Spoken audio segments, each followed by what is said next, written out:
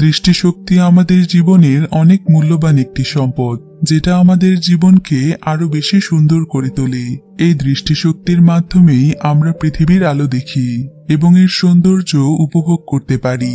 তবে কখনো যদি আমাদের পৃথিবীতে ভয়ানক কোনো ভাইরাস চলে আসে আর সেই ভাইরাসে আক্রান্ত হয়ে পৃথিবীর সকল মানুষ অন্ধ হয়ে যায়, তখন মানুষ কি পারবে দৃষ্টিহীন এক অন্ধকার জীবন নিয়ে পৃথিবীতে টিকে থাকতে? বলছিলাম দুই হাজার আট সালে রিলিজ হওয়া ব্লাইন্ডনেস মুভিটির কথা। মুভিটির IMDb rating six point six out of ten এবং এইটটি ওয়ান পার্সেন্ট গুগল ইউজাররা মুভিটিকে লাইক করেছে। একজন দৃষ্টিহীন মানুষের জীবন কতটা নির্মম হতে পারে, সেটাই খুব সুন্দরভাবে ফুটিয়ে তোলা হয়েছে এই মুভিটিতে। তাহলে চলুন শুরু করা যাক ব্লাইন্ডনেস মুভিটির এক্সপ্লেনেশন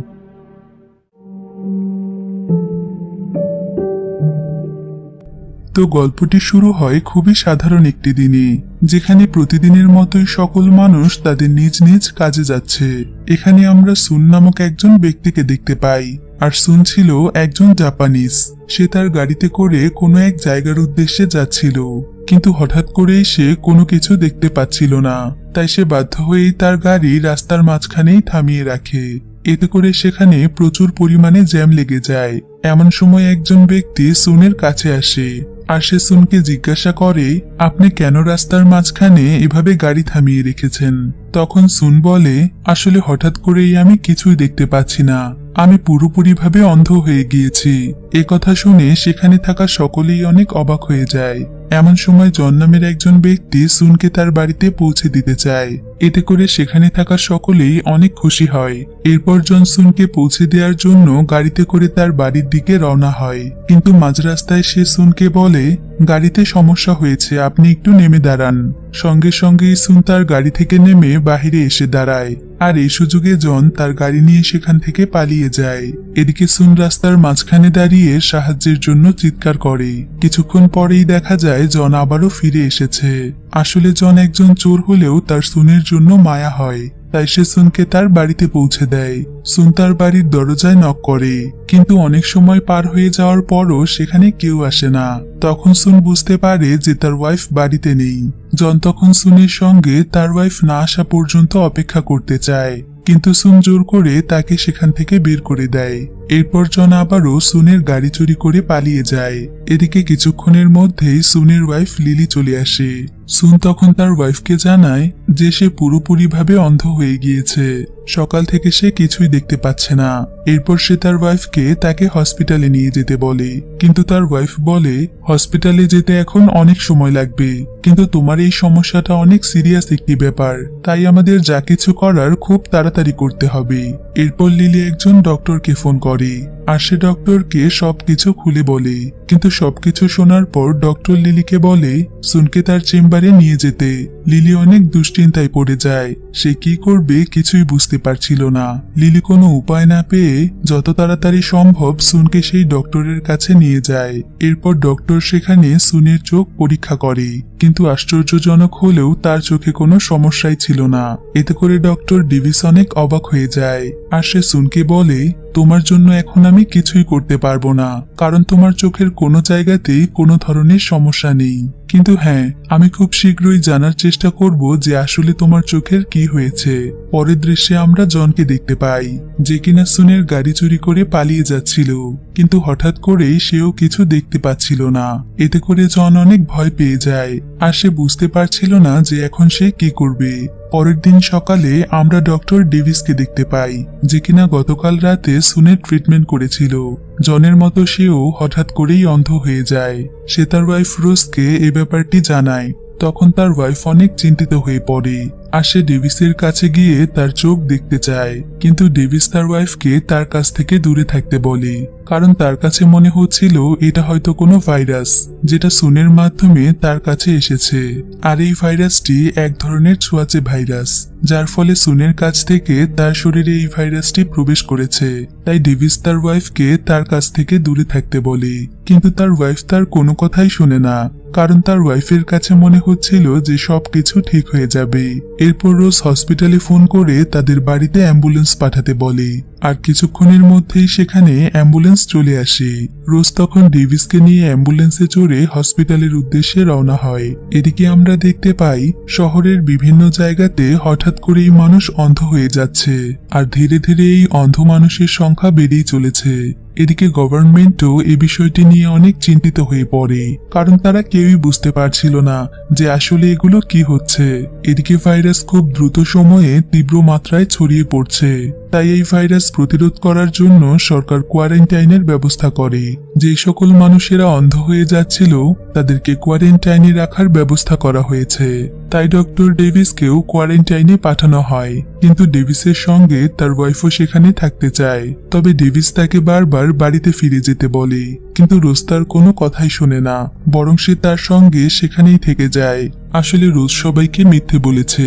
সে এখানকার কর্মকর্তাদেরকে জানিয়েছে যে সেও অন্ধ হয়ে গিয়েছে, যাতে করে তারা মনে করে যে সেও এই ভাইরাসে ইনফেক্টেড আর তাকে ডেভিসের সঙ্গে কোয়ারেন্টাইনে থাকতে দেয়। এখানে রোজ ডেভিসকে বলে, তুমি আমাকে কথা দাও। আমি যে অন্ধ নই, এ কথা তুমি কাউকে বলবে না। কারণ আমি তোমার সঙ্গে এখানে থাকতে চাই। অন্যদিকে আমরা দেখি, সুন এবং জনও এই ভাইরাসে ইনফেক্টেড হওয়ার কারণে কোয়ারেন্টাইনে চলে এসেছে। কিন্তু সুন যখন বুঝতে পারে যে এখানে জন রয়েছে, তখন তাদের দুজনের মধ্যে লড়াই শুরু হয়ে যায়। কারণ জনসনের গাড়ি চুরি করে পালিয়েছিল। ডক্টর ডেভিস তখন তাদেরকে বুঝিয়ে শান্ত করায়। দেখতে দেখতেই প্রায় অনেক মানুষ কোয়ারেন্টাইনে চলে আসে। এরপর সেদিন রাতের বেলায় তারা সবাই লাইন ধরে ওয়াশরুমের দিকে যাচ্ছিল। তাদের সঙ্গে এখানে জনও রয়েছে। হঠাৎ করে জন লাইনের মধ্যে থাকা একটি মেয়েকে বিরক্ত করতে শুরু করে। আর সেই মেয়েটি সহ্য করতে না পেরে তার হিল দিয়ে জনের পায়ে আঘাত করে। এতে জনের পা কিছুটা ফুটো হয়ে যায়।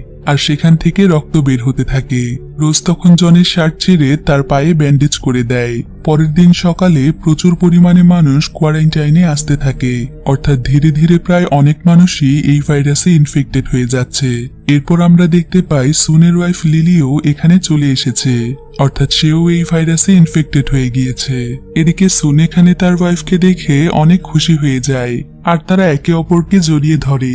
অন্যদিকে আমরা রোজ এবং ডেভিসকে দেখতে পাই। তারা জনের ট্রিটমেন্টের জন্য সেখানে থাকা গার্ডদের কাছে যায়, কারণ জনের পায়ে ইনফেকশন ছড়িয়ে পড়ছে। কিন্তু সেখানে থাকা গার্ডরা তাদের দিকে বন্দুক তাক করে। এবং রোজার ডেভিসকে তাদের কাছ থেকে দূরে থাকতে বলে, যাতে করে এই ভাইরাস তাদের শরীরে প্রবেশ করতে না পারে। রোজ তখন কোনো উপায় না পেয়ে ডেভিসকে নিয়ে সেখান থেকে চলে যায়। এই ঘটনার পর প্রায় তিন দিন কেটে যায়, আর এখন এই কোয়ারেন্টাইনে মানুষের সংখ্যা অনেক বেশি বৃদ্ধি পেয়েছে। তাই যতটুকু খাবার তাদেরকে দেয়া হয় সেগুলো তাদের জন্য পর্যাপ্ত পরিমাণ ছিল না, অর্থাৎ তারা কেউই এখন ঠিকমতো খাবার পাচ্ছে না। রোজ তখন সেখানে থাকা টেলিফোনের সাহায্যে এখানকার কর্মকর্তাদের সঙ্গে যোগাযোগ করার চেষ্টা করে, যাতে করে তাদের এই খাবারের সমস্যার সমাধান করা হয়। কিন্তু রোজ অপর পাশ থেকে কোনো প্রকার রেসপন্স পায় না। তারপরও সে তার চেষ্টা চালিয়ে যাচ্ছিল।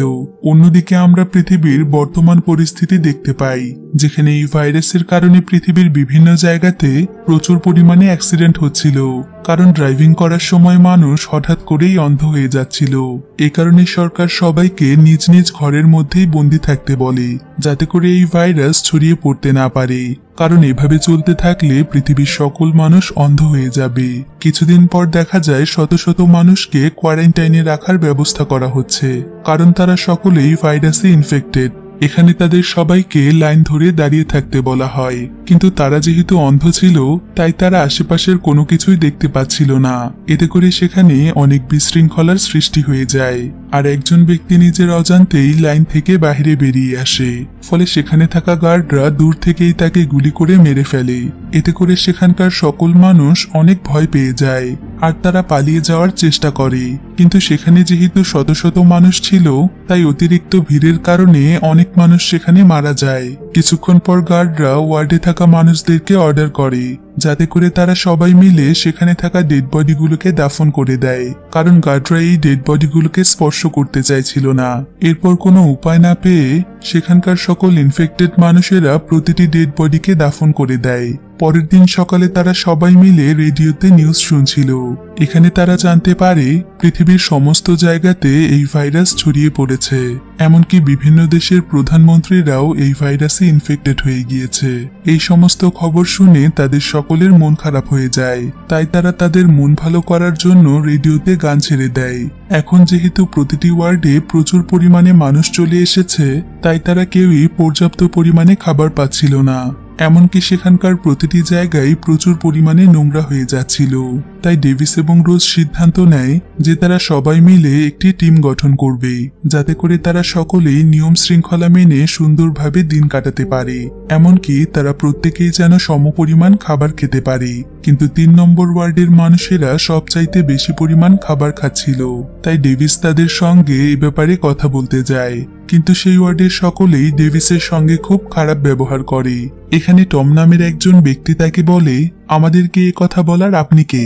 ডেভিস বলে, আমি হলাম এখানকার টিম লিডার। টম তখন ডেভিসকে নিয়ে মজা করে। আর বলে, আপনি এখানকার টিম লিডার হলে আমি এখানকার কিং কথা বলে সে তার ওয়ার্ডের মানুষদেরকে ডেড বডি খাওয়ার অনুমতি দেয়। আর সেখানকার মানুষ এতটাই ক্ষুধার্ত ছিল যে, তারা ডেড বডি খেতেও প্রস্তুত ছিল। তাই তারা সবাই ডেভিসের সাপোর্ট না করে টমের সাপোর্ট করতে শুরু করে। অন্যদিকে আমরা জনকে দেখতে পাই, যে কিনা তার পায়ের ব্যথায় ছটফট করছিল। আসলে তার পায়ে ইনফেকশন ছড়িয়ে পড়েছে। সে অনেক কষ্ট করে কোয়ারেন্টাইন এরিয়ার কাছে চলে আসে, আর সেখানে থাকা গার্ডদের কাছে সাহায্য চাওয়ার চেষ্টা করে। কিন্তু গার্ডরা সাহায্য করা তো দূরের কথা, বরং তারা জনকে গুলি করে মেরে ফেলে।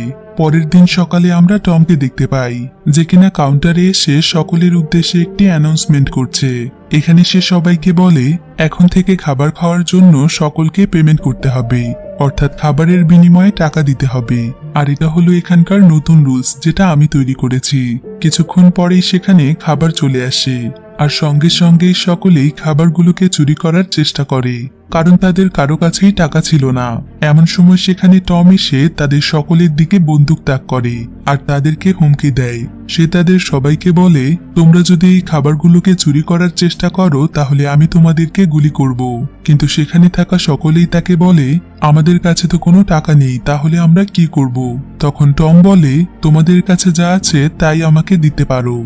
আসলে টম এখন এখানকার লিডার, তাই সে যা বলবে, তাদের সবাইকে তাই করতে হবে। এরপর তারা সবাই মিলে তাদের কাছে যা কিছু রয়েছে, সেই সব কিছুই এক জায়গাতে সংগ্রহ করতে শুরু করে। আর তারা সেই সকল জিনিস টমকে দিয়ে দেয়। কিন্তু টম সেখানকার ৩৫ জন মানুষের মধ্যে মাত্র আঠাশ জন মানুষের খাবার দেয়। এতে ডেভিস অনেক রেগে যায়। কিন্তু তার কোনো কিছু করার ছিল না, কারণ এখানকার সবকিছুই টমের নিয়মে চলছিল। অবশেষে সেখানকার সবাই খুবই অল্প পরিমাণ খাবার পায়, কিন্তু এইটুকু খাবারে তাদের কারোই ঠিকমতো পেট ভরে না। ধীরে ধীরে তারা সবাই মানসিকভাবে ভেঙে পড়ছিল। ডেভিসে এই টর্চার সহ্য করতে পারছিল না। অতিরিক্ত ডিপ্রেশনের কারণে সে সেখানকার একজন মেয়ের সঙ্গে অনেক ঘনিষ্ঠ হয়ে যায় আর রোজ তাদেরকে দেখে ফেলে। কিন্তু সে তাদেরকে কোনো কিছুই বলে না, কারণ সে নিজেও জানে যে এখানকার সকলেই এখন সাইকো হয়ে যাচ্ছে। তাই সে তাদেরকে মাফ করে দেয়। রোজ এখানকার মেয়েটিকে বলে দেয় যে সে অন্ধ নয়, তাই সে সবকিছুই দেখতে পায়। এখানে সে এই মেয়েটিকে বলে যে সে যেন আর কখনো তার হাজবেন্ডের কাছে না আসে। মেয়েটি তখন রোজের কাছে জানতে চায়, আমরা সবাই তো অন্ধ হয়ে গিয়েছি, তাহলে তুমি কীভাবে এখনও সুস্থ আছো? তখন রোজ বলে, আমার শরীরে এক ধরনের অ্যান্টিবডি রয়েছে, যেটা যে কোনো ভাইরাস প্রতিরোধে সহায়তা করে, আর এই অ্যান্টিবডি পৃথিবীর একশো শতাংশ মানুষের মধ্যে এক শতাংশ মানুষেরই থাকে। এ কারণেই আমি এখনও এই ভাইরাসে ইনফেক্টেড হইনি। পরের দৃশ্যে আমরা টমকে দেখতে পাই, যে কিনা আবারও কাউন্টারে এসে আরও একটি অ্যানাউন্সমেন্ট দেয়। এখানে সে বলে, এখন তো তোমাদের কাছে আমাকে দেওয়ার মতো কিছুই নেই। তাই যদি তোমরা খাবার খেতে চাও, তাহলে তোমাদের ওয়াইফদেরকে আমার কাছে পাঠিয়ে দাও। একথা শুনে সেখানকার সকলেই অনেক আতঙ্কিত হয়ে পড়ে। এমনকি তারা গার্ডদের কাছে সাহায্যের জন্য যায়, কারণ তাদের উপর নির্যাতনের মাত্রা অনেক বেশি বেড়ে যাচ্ছিল। কিন্তু গার্ডরা তাদেরকে বলে, আমরা তোমাদেরকে কোনো সাহায্য করতে পারব না, কারণ আমাদের কাজ হলো তোমাদের কাছে খাবার সাপ্লাই করা। বাহির থেকে যতটুকু খাবার আসে, আমরা সেই খাবারগুলো তোমাদের কাছে পৌঁছে দেই। আর ভেতরের সবকিছু তোমাদের নিজেদেরই কন্ট্রোল করতে হবে। কারণ আমরা সেখানে গেলে ভাইরাসে ইনফেক্টেড হয়ে যাব। একথা শুনে সেখানকার সকলেই অনেক দুশ্চিন্তায় পড়ে যায়। প্রথমে তো কোনো মেয়েই টমের কাছে যেতে রাজি হচ্ছিল না। তাই টম তাদেরকে বন্দুকের ভয় দেখিয়ে সকল খাবার নিজের কবজায় করে ফেলে। আর সে তাদের কাউকেই কোনো প্রকার খাবার খেতে দেয় না। এতে করে সেখানে থাকা মানুষেরা ধীরে ধীরে না খেয়ে মারা যেতে থাকে। তাই তারা কি করবে কিছুই বুঝতে পারছিল না। অবশেষে সেখানকার সকল মহিলারা সিদ্ধান্ত নেয় যে তারা নিজে থেকেই টমের কাছে যাবে, যাতে করে সবাই অল্প পরিমাণ খাবার খেয়ে হলেও বেঁচে থাকতে পারে। সুনের ওয়াইফ লিলিও তাদের সঙ্গে যাওয়ার সিদ্ধান্ত নেয়, কিন্তু সুন কিছুতেই লিলিকে সেখানে যেতে দিতে চায় না। লিলি তখন সুনকে বলে, এটা আমাদের সকলের জন্যই একটি যুদ্ধ। আর এই যুদ্ধে আমাদেরকে জয়ী হতেই হবে। এরপর লিলি এক নম্বর ওয়ার্ডের মহিলাদের সাথে টমের কাছে চলে যায়, আর টম তাদের সকলের উপর অনেক নির্যাতন চালায়। তারা সেখানকার একটি মেয়েকে এতটাই টর্চার করে, মেয়েটি সঙ্গে সঙ্গে সেখানে মারা যায়। পরের দিন সকালে দুই নম্বর ওয়ার্ডের মহিলারা টমের কাছে যায়, আর টম তাদের উপরও অনেক জুলুম করে। এই ওয়ার্ডের মহিলাদের মধ্যে রোজও ছিল। রোজ যেহেতু চোখে দেখতে পায়, তাই সে এই সকল টর্চার সহ্য করতে পারছিল না। সে যেন ধীরে ধীরে পাগল হয়ে যাচ্ছিল। হঠাৎ করে এই রোজ সিদ্ধান্ত নেয় যে সে টমকে মেরে ফেলবে। তাই সে একটি কেচি হাতে নিয়ে ধীরে ধীরে টমের দিকে এগিয়ে যায়। আর এখানে খাবার সাপ্লাই করার একজন কর্মকর্তা চলে আসে। যে কিনা জন্ম থেকেই অন্ধ ছিল, আর এই ব্যক্তির নাম হলো উইলিয়াম। সে যেহেতু এমনিতেই অন্ধ ছিল, তাই তাকে এখানে খাবার সাপ্লাই করার কাজে রাখা হয়েছে। কিন্তু সেও টমের সঙ্গে হাত মিলিয়েছিল।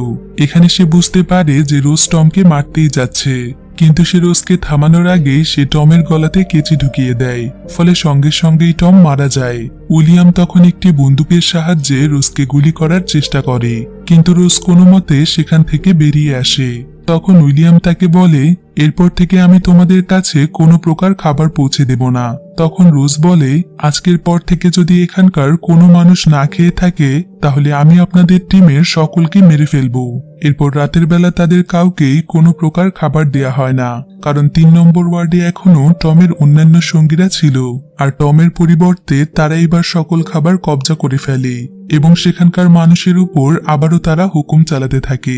তখন সেখানে থাকা লুসি নামের একজন মহিলা তাদের অনেক রেগে যায়, ফলে সে কোনো মতে একটি লাইটার জোগাড় করে তিন নম্বর ওয়ার্ডে চলে আসে। আর কোনো কিছু না ভেবে সে পুরো ওয়ার্ডে আগুন লাগিয়ে দেয়। আসলে সে টমের সঙ্গীদেরকে পুড়িয়ে মেরে ফেলতে চাইছিল, কিন্তু দেখা যায় অন্যান্য ওয়ার্ডেও এই আগুন ছড়িয়ে পড়তে শুরু করেছে। তাই সেখানকার সকল মানুষেরা কোয়ারেন্টাইন এরিয়া থেকে বেরিয়ে আসে। আর তারা সেখানকার গেটের সামনে চলে যায়। অন্যদিকে টমের সকল সঙ্গীরা আগুনে পুড়ে মারা গিয়েছে। এদিকে রোজ সেখানকার গার্ডদেরকে চিৎকার করে ডাকতে থাকে, যাতে করে তারা এসে এখানকার গেট খুলে দেয়। আর তারা এখান থেকে বের হতে পারে, কিন্তু তারা সেখানে কোনো রেসপন্স পাচ্ছিল না। তাই রোজ আশেপাশে ঘুরে ঘুরে দেখতে শুরু করে। কিন্তু সে সেখানে কাউকেই দেখতে পায় না। তাই সে বুঝতে পারে যে গার্ডরা এখান থেকে পালিয়েছে। রোজ তখন তাদের সবাইকে নিয়ে সেখানকার দরজা ভেঙে ফেলে। আর তারা সকলেই মুক্ত হয়ে যায়। এতদিন পর বাহিরে বেরিয়ে রোজ দেখে তাদের পুরো শহরের চেহারা পাল্টে গিয়েছে, এমনকি আশেপাশে কোনো মানুষের চিহ্ন পর্যন্ত নেই। এরপর সে তাদের সবাইকে নিয়ে একটি কেক শপের সামনে চলে আসে, আর সে তাদের সবাইকে এখানেই থাকতে বলে। এরপর সে ডেভিসকে নিয়ে খাবার জোগাড় করতে বেরিয়ে পড়ে। সে তাদের সকলের জন্য কিছু জামা কাপড়ও জোগাড় করে ফেলে। কারণ তারা অনেকদিন ধরে একটাই কাপড় পরেছিল। কিছুক্ষণ পর তারা সামনের দিকে এগিয়ে অনেক মানুষ দেখতে পায়। এখানে তারা দেখে শহরের সকল মানুষ অন্ধ হয়ে গিয়েছে, আর তারা খাবারের জন্য একে অপরের সঙ্গে লড়াই করছে। এরপর রোজ ডেভিসকে নিয়ে একটি স্টোরে চলে যায়, আর এখানে এসেও সে দেখতে পায়, শহরের অনেক অন্ধ মানুষেরা এখানে খাবার খুঁজতে এসেছে। রোজ তখন সেখানকার বেসমেন্টে চলে যায় আর সেখানে গিয়ে সে প্রচুর পরিমাণে খাবার খুঁজে পায়। এরপর সে খাবারগুলোকে প্যাক করে ফেলে। কিন্তু যখনই সে বেসমেন্ট থেকে বাহিরে বেরিয়ে আসে, তখন সেখানে থাকা অন্ধ মানুষেরা বুঝতে পারে যে এখান থেকে কেউ খাবার নিয়ে যাচ্ছে। তাই তারা সকলেই রোজের কাছ থেকে খাবারগুলো নিয়ে নেওয়ার চেষ্টা করে। আর রোজ সেখানে চিৎকার করতে থাকে। এদিকে রোজের চিৎকারের আওয়াজ ডেভিস শুনতে পায়, আর সে সঙ্গে সঙ্গেই রোজের কাছে চলে আসে। সে রোজকে তাদের হাত থেকে বাঁচিয়ে সেখান থেকে নিয়ে যায়। রোজ এবং ডেভিস কোনো মতে সেখান থেকে বেরিয়ে রাস্তায় চলে আসে। এখানে রোজ দেখে একটি মৃতদেহকে কিছু কুকুর ছিঁড়ে ছিঁড়ে খাচ্ছে। এ দৃশ্য দেখে রোজ অনেক কষ্ট পায়। কিছুক্ষণ পরেই সেখানে বৃষ্টি শুরু হয়ে যায়। এতে করে তারা সকলেই অনেক খুশি হয়ে যায়। আর আশেপাশে থাকা সকল মানুষেরা রাস্তায় নেমে বৃষ্টিতে ভিজতে শুরু করে। কারণ তারা অনেকদিন পর বৃষ্টির পানিকে অনুভব করতে পারছে। তারা এখানে তাদের সকল কষ্ট ভুলে যায়, আর মনের আনন্দে বৃষ্টিতে ভিজতে থাকে। এরপর ডেভিস এবং রোজ ভিজতে ভিজতে সেই কেক শপে চলে যায়, যেখানে তারা বাকি মানুষদেরকে রেখে এসেছে। এখানে এসে তারা সবাইকে খাবার খেতে দেয়। প্রায় অনেকদিন পর তারা সকলেই পেট ভরে খাবার খায়। এরপর তারা সকলেই সেখানেই রাত কাটায়। পরের দিন সকালে রোজ তাদের সবাইকে নিয়ে বাইরে বেরিয়ে আসে, আর সে সবাইকে সঙ্গে নিয়ে তাদের বাড়ির দিকে যেতে থাকে। কারণ রোজদের বাড়ি এখান থেকে দূরে নয়। খুব অল্প সময়ের মধ্যেই তারা তাদের বাড়িতে পৌঁছে যায়, আর এখানে এসে সকলেই অনেক খুশি হয়ে যায়। তাদের পিছু পিছু সেখানে একটি কুকুরও চলে আসে। এরপর সন্ধেবেলায় সেখানে তারা আগুন জ্বালিয়ে একসাথে বসে একে অপরের সঙ্গে গল্প করতে শুরু করে। এখানে কাল্টার নামক একজন ব্যক্তি ক্লারা নামের একটি মেয়েকে প্রপোজ করে, আর মেয়েটিও তার প্রপোজে রাজি হয়ে যায়। তারা সবাই এই মুহূর্তটিকে অনেক উপভোগ করতে থাকে, কারণ এখন তারা অন্ধ হলেও তাদের কাছে স্বাধীনতা রয়েছে। এরপর তারা সবাই মিলে একসঙ্গে ডিনার করে। পরের দিন সকালে তারা যখন ঘুম থেকে ওঠে, তখন সুন বুঝতে পারে যে সে দেখতে পাচ্ছে। ফলে সে অনেক খুশি হয়ে যায়। এরপর সে দৌড়ে গিয়ে সকলকে এ কথা জানায়। প্রথমে তারা কেউই সুনের কথায় বিশ্বাস করছিল না, কিন্তু ধীরে ধীরে তাদের চোখও ঠিক হয়ে যাচ্ছিল।